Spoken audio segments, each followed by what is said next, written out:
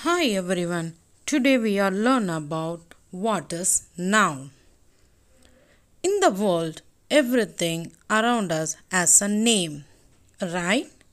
Noun is nothing but naming words. That means noun is the name of a person, animal, place and things. Let's see one by one. Person. Look at your surrounding. So many people is there, right?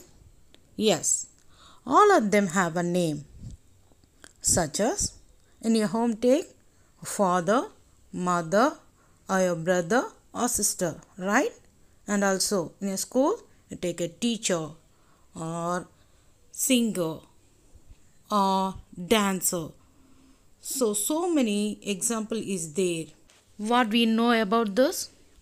Name of a person means name of the people, right children? Animal. Here animal also has a name such as cow, cat, dog. Not only animals, here we have birds, fish, turtle and we have so many other animal also is there, right? Okay. Next one is place. Here we have park, school, play area, temple, hospital.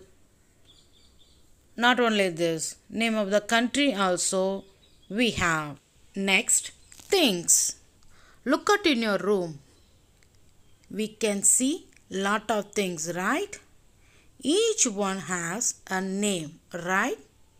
Such as chair, table, cupboard, book, and your pencil box, pencils. So these are having a names. Right children? Now we see some exercise.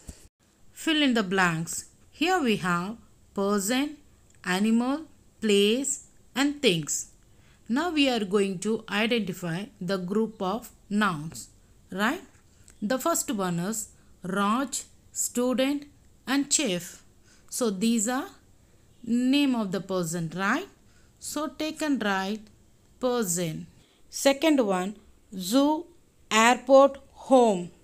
These are represent to yes, places. And third one, tiger, elephant and fish. So these are what? Yes, animals. And fourth one, computer, pen and book. So these are yes, name of the things. Good children.